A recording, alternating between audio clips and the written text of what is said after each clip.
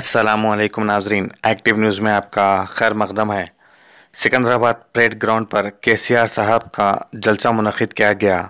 इस जलसे में शिरकत के लिए टी आर एस चार मीनार एक्टिव टीम जनाब सैद लायक अली, मोहम्मद इम्तियाज़ अली और दीगर मेम्बरान ने नूरखा बाज़ार डिवीज़न से एक रैली निकाली और टी आर एस का परचम लहराई की।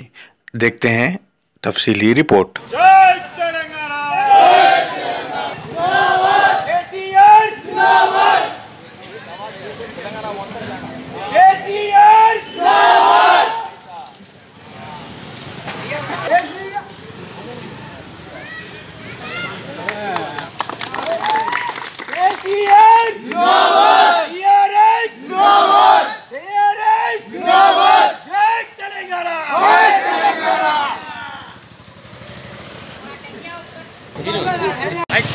दिखा तो इन्हें ठहरे से दिखता।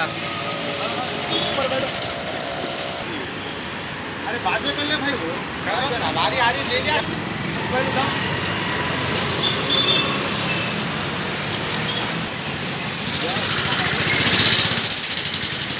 केसीआर! केसीआर! जय तेलंगाना! जय तेलंगाना। आज नूर खा बाज़ार डिवीज़न से जो फ्लैग तेलंगाना का किया गया है। आज यहाँ से हम परेड ग्राउंड पर जाकर केसीआर साहब के मुबारकबाद देते हैं कि इन 102 सीट हम बता देंगे कांग्रेस पार्टी को कि केसीआर साहब कामयाबी करेंगे 102 सीट पर। इंशाल्लाह ताला जय।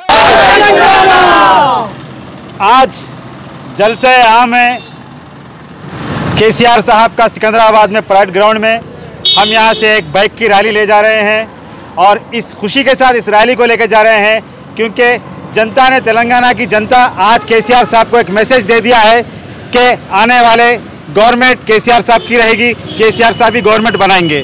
क्योंकि हम जानते हैं, ये जनता जानती है कि आने वाले 2019 में बचे कुचा जो रुका हुआ डेवलपमेंट है के साहब ही कर सकते हैं। क्योंकि ये चार साल दौर में जो के साहब ने डेवलपमेंट किया है, जो आवाम को सहूलतें दी है, ये आवाम बेहतर जानती है।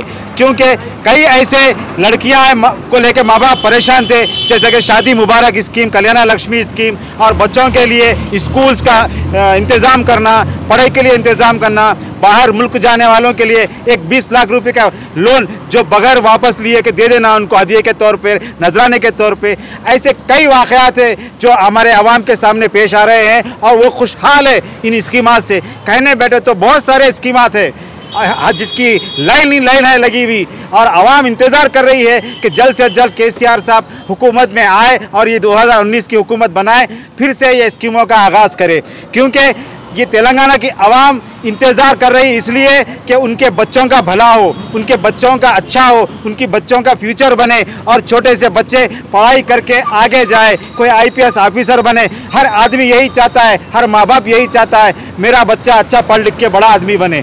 और हम भी यही चाहते हैं कि हमारे बच्चे पढ़ लिख के आगे बढ़े। हम यही मैसेज देना चाहते हैं। अभी हाल ही में आप देख रहे हैं कि अखबार में अभी आज का और कल का न्यूज़ आया है। जनाब सिद्धू साहब जो क्रिकेटर है, पंजाब से आए हैं और आके जो है ना, उनको कुछ मालूम नहीं है। हमारे के साहब को जो है ना, एक गलत सलत इल्ज़ाम लगा रहे और बोल रहे हैं कि चार चोर अस्तफरल्ला क्या इनकी ज़ुबान से ये बोल रहे हैं मालूम नहीं। और चार चोर बोल रहे हैं काउंटिंग पाँच कर रहे हैं। काउंटिंग में भी फेल है। ये कैसा काउंटिंग कर रहे हैं कैसा पढ़े, कैसा इनको जो नॉलेज है, नहीं मालूम है। इनको कुछ मालूम ही नहीं है। के साहब के बारे में मालूम करना है तो पहले के के चाहने वाले कार्यकर्ताओं के पास आओ। सिद्धू जी, आपको मालूम नहीं है तेलंगाना के बारे में। आप पंजाब में रहिए, दिल्ली में रहिए। क्रिकेट के बारे में लोगों को जानकारी दीजिए। झूठे अफवाहों से, झूठी बातों से तेलंगाना की बोली